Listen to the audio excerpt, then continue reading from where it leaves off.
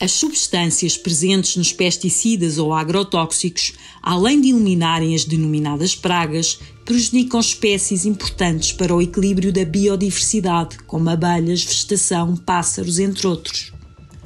O uso excessivo pode ainda afetar espécies que estão no topo das cadeias alimentares, resultando no desequilíbrio de todo o ecossistema.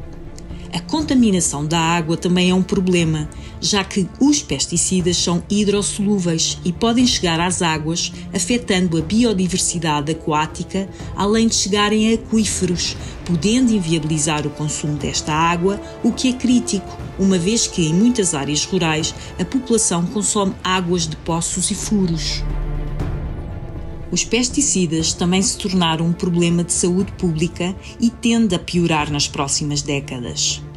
Uma das alternativas para reduzir o uso de pesticidas pode passar pela agroecologia, que é uma possibilidade sustentável para manter a produção agrícola, substituindo os pesticidas por policulturas que equilibram, sem exterminar, a convivência entre insetos e bactérias com as plantações.